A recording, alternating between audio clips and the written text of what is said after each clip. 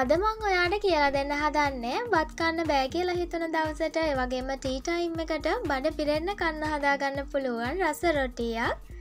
මේ රොටිය හදාගන්න කිසිම පිපුම්කාරකයක් ඕන වෙන්නේ නෑ. හරිම රසට පිසයි ස්ටයිල් එකට හදාගන්න පුළුවන් රොටියක්. ඒ විතරක් නෙමේ ක්‍රිස්පි ගතියත් එක කන්නත් ආස හිතනවා. හදාගන්න අරගත දේවල්ටික සුපුරුදු පරිදි ඩිස්ක්‍රපෂන් බොක්ස එකේ දාලා තියෙන්නේ. ඔයාට එතනින් බලන්න පුළුවන්. එහෙනම් අපි බලමු කොහොමද හදාගන්න කියලා. මේ පිසයි ස්ටයිල් එකට හදාගන්න පුළුවන් රස රොටිය. ඉස්සෙල්ලම පිරවුමක් ඕන වෙනවා. තෙල් මෙ සැහැඳි දෙකක් වගේ දාගන්නවා.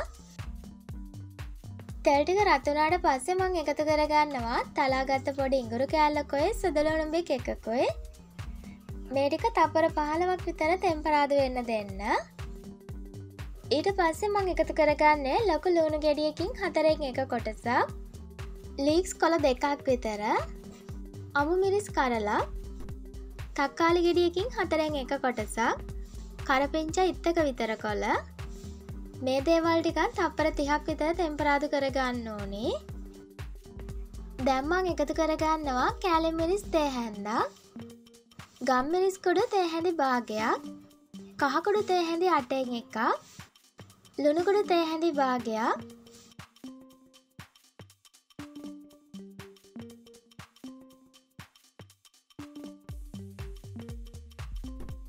කලාම් කරගත්තට පස්සෙ මං එකතු කරගන්නවා තම්බල පොඩි කරගත්ත ලොකු අල ගෙඩියා පොඩි අලනන් දෙකක් වගේ අරගන්න ඕනේ. මාළු පෙති දෙකක් විතර.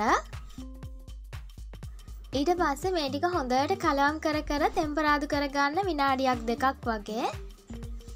මේ ලොකෝඩ වගේ තියෙන කෑලි පොඩි කරගන්න කලාම් කරන ගමම්ම. ඔයා තක්කාල එකතු කරගන්න කැමති නැත්තං මේ වෙලාවෙ පුළුවන් දෙහිබිඳු දෙකක් තුනක් වගේ දාගන්න.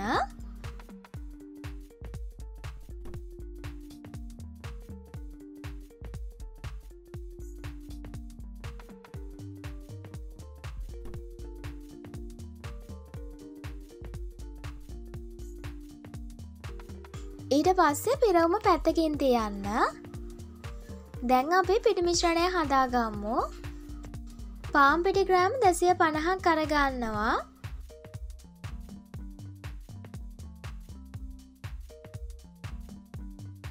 ඒකට මං එකතු කරගන්නවා පොල්තෙල් මේසහැදි දෙකක්. ලුණුකුඩු තෙහැලි හතරෙන් එකක්. තවමං එකතු කරගන්නවා බිත්තරයක සුදු මදය. කහමදය අපට ඕන වෙනවා. එහින්දමං කහමදය අයින් කරලා සුදුමදය විතරක් කරගන්නවා බිත්තර සුදුමදය නැතත් වාට හදාගන්න පුළුවන්. සුදුමදය අයින් කරන හින්දමම් මේ පිටිටිකට එකතු කරගන්නේ. දැම්ම ටික හොඳට කලාම් කරගන්න.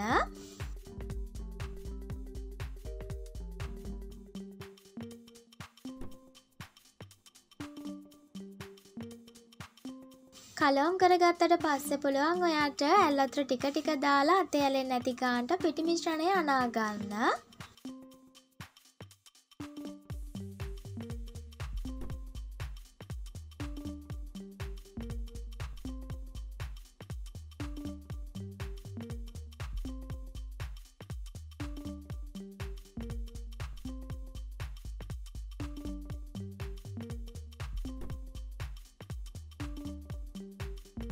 අනාගත්තට පස්සේ විනාඩියක් වගේ නීට් කරගන්න.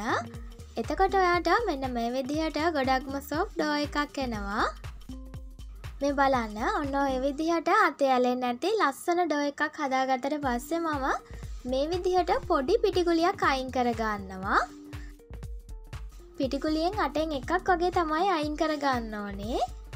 ලොකු පිටිකුලියයි පොඩි පිටිකුලියයි.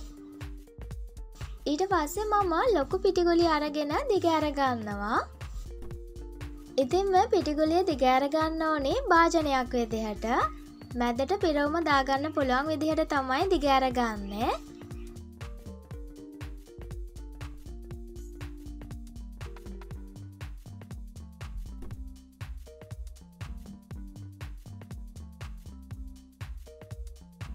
දිගෑරගෙන ගිහිල්ලා ගැට්ට මෙන්න මේ විදියට හදාගන්න.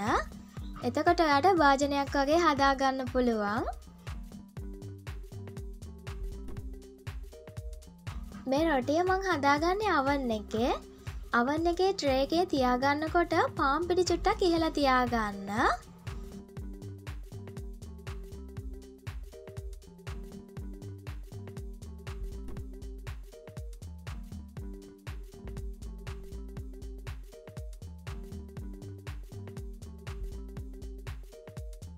ඉතින් මෙන්න මේ විදිහට භාජනයක්කාගේ හදාගන්න.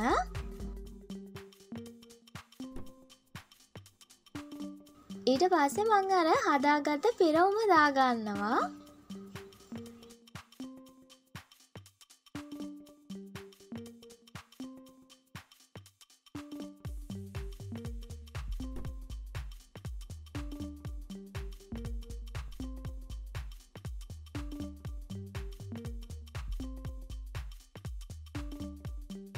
චුට්ටක් මේ විදිහට හදාගන්න. ටිකක් තුනී කල්ල වගේ. ඊට පස්සේ මං අනිත් පිටිගොලි අරගෙන දිගෑරගන්නවා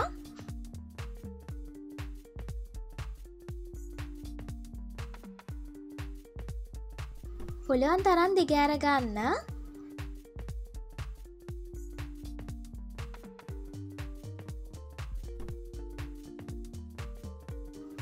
දැම් පුළුවන් ඔයාට මෙන්න මේ විදිහට පොඩි තීරු කපාගෙන යන්න.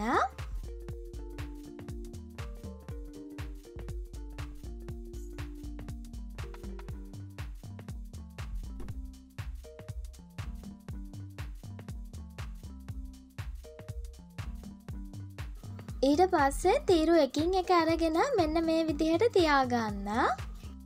පොඩි පරතරයක් තියලා දෙපැත්තටම තියාගෙන යන්න.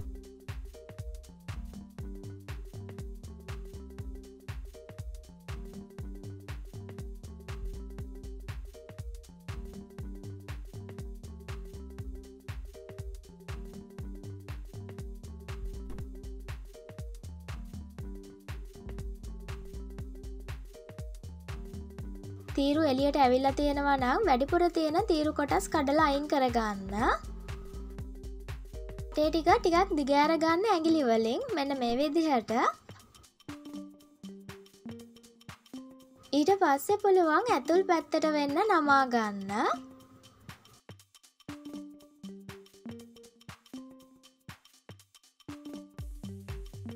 ඒ විදිහට හදාගත්තම මෙන්න මේ වගේ පෙනුමක් එන්නේ.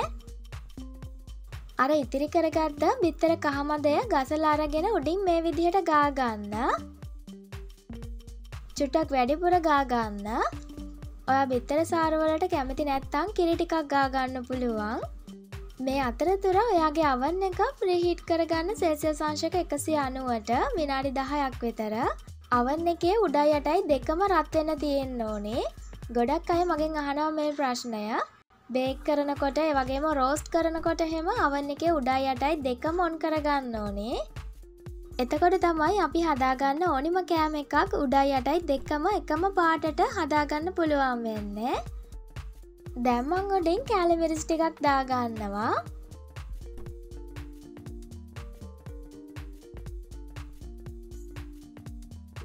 දැම් පුළුවන් ඔයාට අවන් එක යෝෂ්නත්වය සෙල්සිය සංශක එකසේ අනුවටම තියාගෙන විනාඩි පහළවක් විස්සක් වගේ බේක් කරගන්න. ටිකක් මේ වගේ තද පාටට බේක් කරගන්න. එතකොට මේ රොටිය තවත් රසට හදාගන්න පුළුවන්. ගොඩක්ම ක්‍රිස්පී මේ රොටිය මේ විදිහට බේක් කරලා අරගත්තම ඔයාට දවසක් වගේ ක්‍රිස්පි ලෙවල් එකට තියාගන්න පුළුවන්.